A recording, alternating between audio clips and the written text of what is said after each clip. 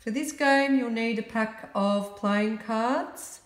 We, you need to take out the picture cards, which are the Jack, Kings and Queens. They're not part of this game, so take them out. Give your cards a shuffle and then put the stack over on the side. You can play this game with two people. I've got myself and Sophie playing today, or you can just play it on your own.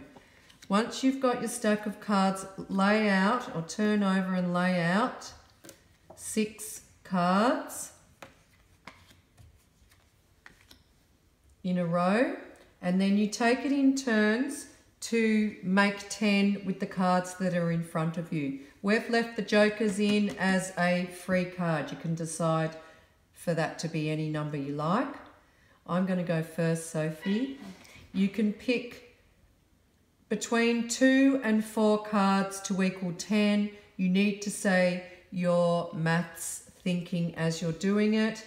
I'm going to choose six plus four is 10. So then I keep those cards and fill up the spaces that I just uh, made. Now it's your turn, Sophie.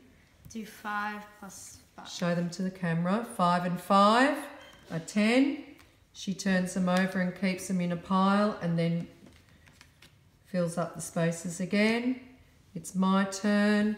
I'm going to do 8 and 2, make 10 and keep that as a stack. Don't put all your stacks, your pairs or sets of three or four cards together because in the end we count how many uh, combinations you ended up with and then I'll fill up the spaces. I'm just going to take 10. Well no because we said that you have to have a combination of between two and four cards. I'll go 8 and I'll make the joker 2. Yep, perfect. For demonstration purposes this time around, you just you continue with the until all the cards are finished. At the end you count up who's got the most sets.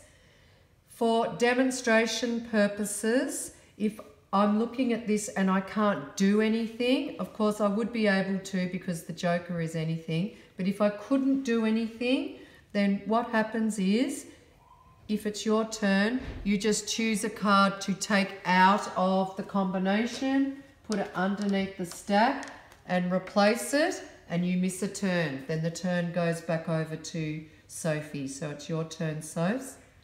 Um,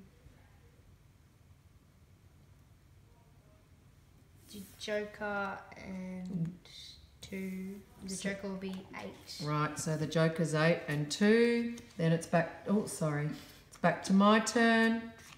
I'm going to do, ooh, can I do anything? See, it starts to get a little bit tricky. I can do six and one is seven plus two is nine. You can do six I can do six plus six. Oh, thanks, Sophs. Six plus six and then take away, makes 12, then take away two, gives me 10. Thanks, Sophie and then I fill up those spaces.